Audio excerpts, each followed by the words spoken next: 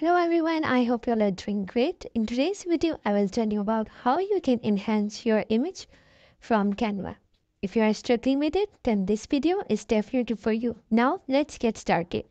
First of all, you have to open your Canva account and from there you have to create a custom size for your design.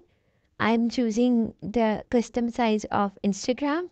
You can also add the width and height manually Okay, the Canva file is opened now, as you can see.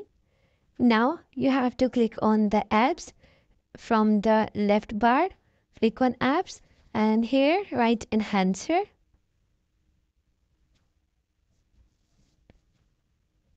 Okay, now choose the first one, this one, click on it and now click on open.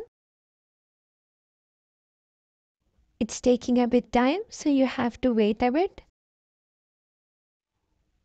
Okay, now you have to choose a file from your device and I'm choosing a file from my download. Here I have downloaded an uh, image. Okay, now click on enhance image. Here you again have to wait a bit when it's enhancing your image. Okay, the image is enhanced now. Now you have to click on the add design button here.